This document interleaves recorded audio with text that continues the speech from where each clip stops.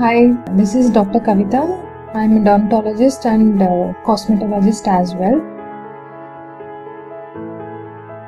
There are four grades of acne. If it's stage 1 and stage 2, we can uh, only manage with the kind of uh, face washes meant for acne prone skin which has salicylic acid or benzoyl peroxide, then gels containing salicylic acid, benzoyl peroxide, and antibiotics like clindamycin, azithromycin.